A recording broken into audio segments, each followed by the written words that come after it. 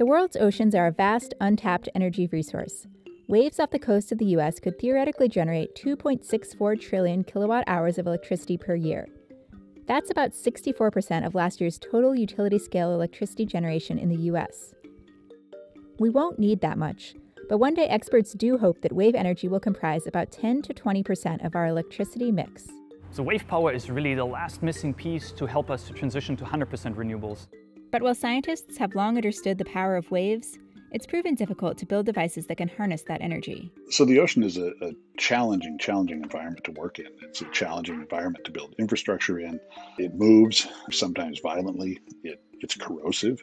Now, though, an influx of federal funding is helping many U.S. companies gear up to test their latest wave energy converters. As the nation's first full scale, grid connected test facility for these technologies, called PacWave, is set to come online over the next few years. PacWave really represents for us an opportunity to address one of the most critical barriers to enabling wave energy, and that's getting devices into the open ocean. That will help the US catch up with its European counterparts, who've been testing wave energy devices off the coast of Scotland since the early 2000s. But while many prototypes have been developed, it's still unclear what technology will prove viable for grid scale electricity production. There are just this vast uh, array of approaches to turning oscillatory motion into ultimately electrical power. We spoke with a number of companies pursuing different technologies and learned how this emergent energy source could help us transition to an all renewable world, if we can get it to work at scale.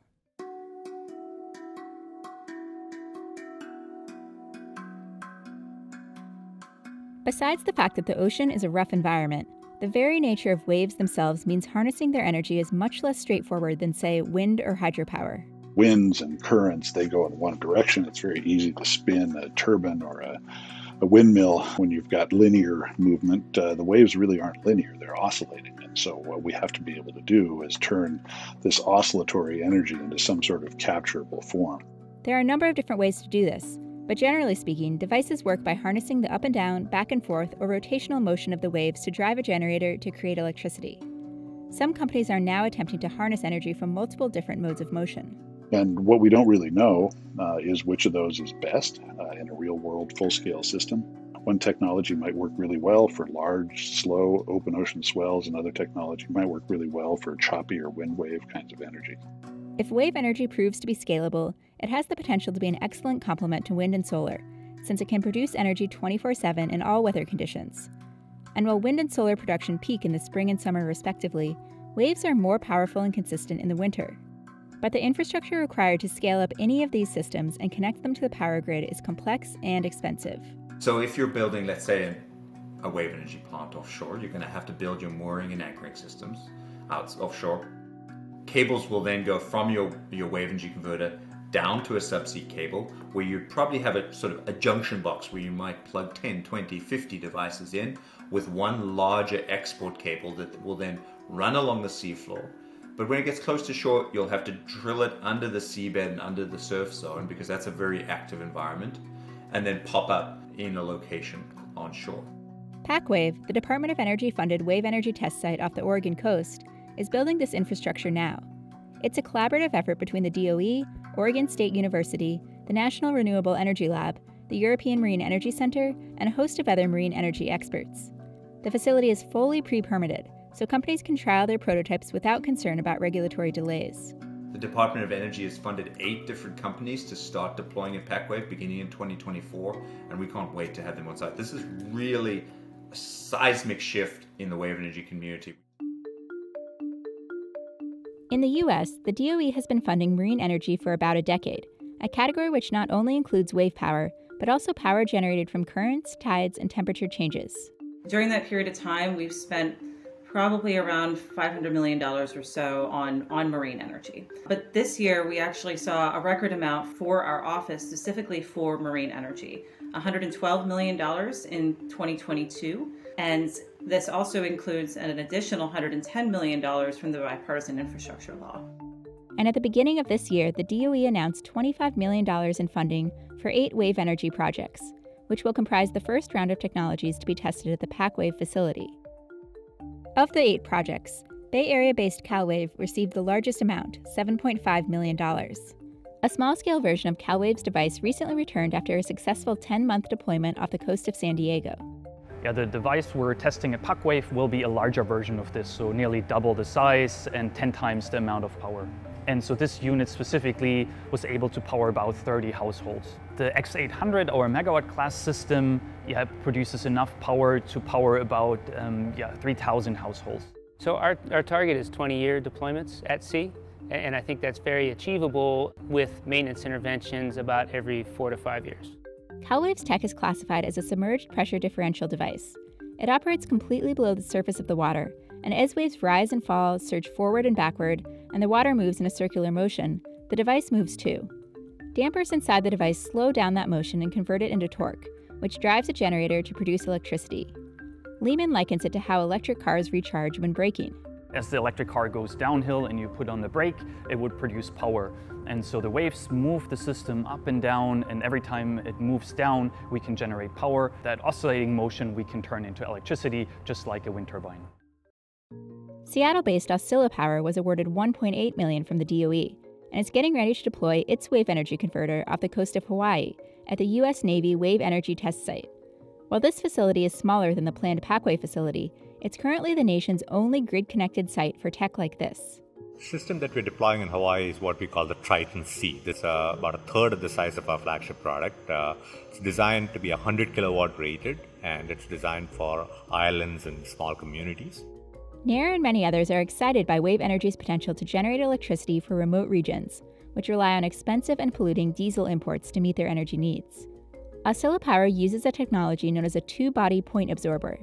Part of the Triton C floats on the surface and moves with the waves in all directions up and down, side to side, and rotationally. Underneath the float hangs a large ring shaped structure, which stays relatively steady, thus generating force on the lines that connect it to the float. That force is then used to rotate a gearbox to drive a generator. So, under very weak waves, we get a lot of pitch and roll motion in our system. At very strong waves, we get a lot of surge motion, and in the most prevalent wave climate, we get a lot of heave motion. That's up and down motion. So, across all of these, the system certainly moves enough uh, for us to be able to capture energy efficiently across a wide range of climate. Oscilla Power plans to deploy a larger megawatt scale device in India in 2024 and then move on to testing at PacWave.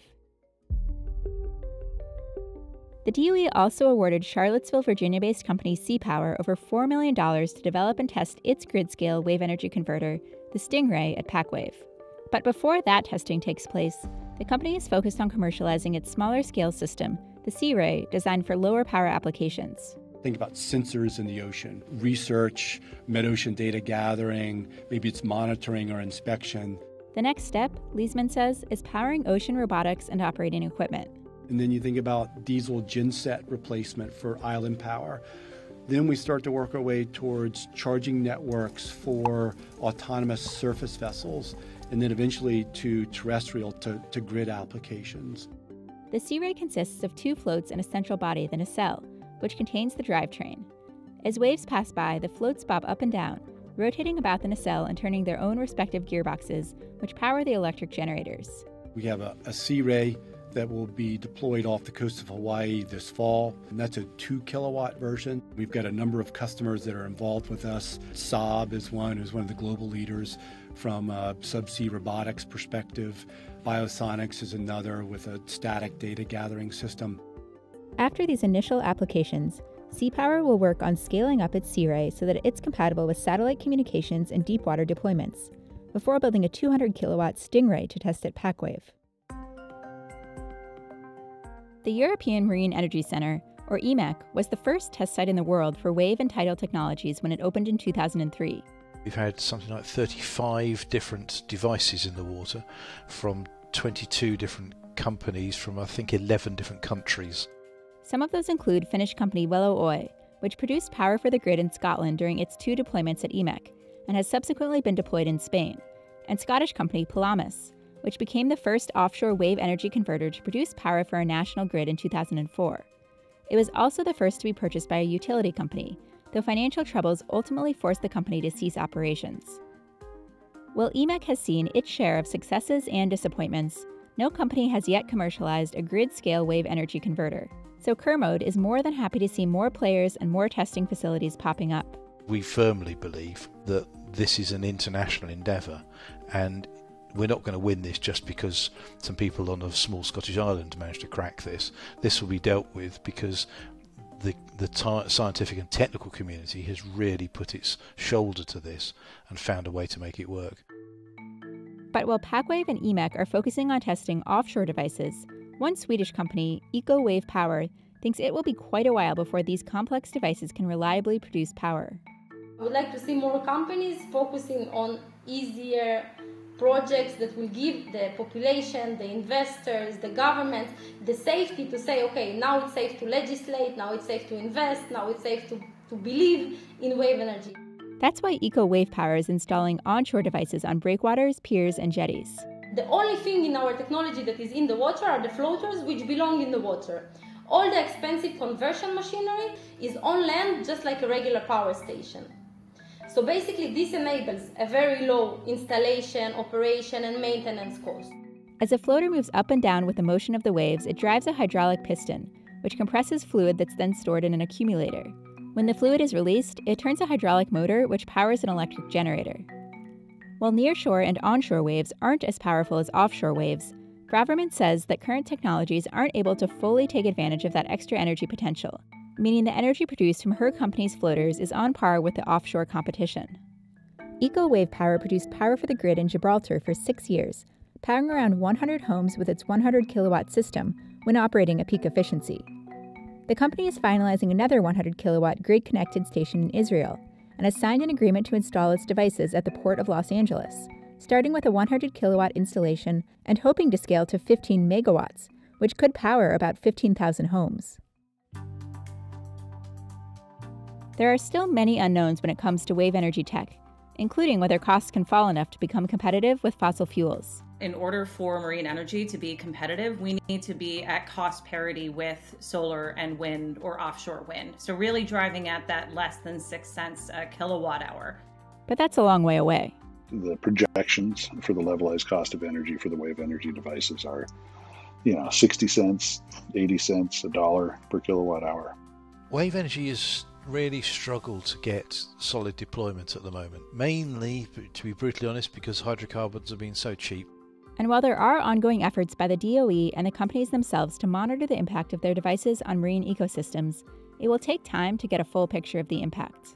Really, this is going to have to be something that we learn as we put systems into the water. But we're funding, you know, environmental monitoring, funding work to really understand the interaction of species uh, with deployed systems, and we take this very seriously. Questions about potential environmental impacts could delay the permitting process as companies move beyond testing and attempt to commercialize.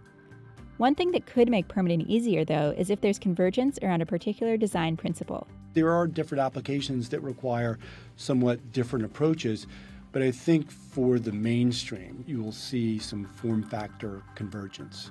Right now, though, it's far from clear what technology will rise to the top for grid scale electricity generation. But in the meantime, experts say that there are many exciting low power opportunities. Data gathering, subsea robotics, uh, operating equipment, that's today. That's ready to go today.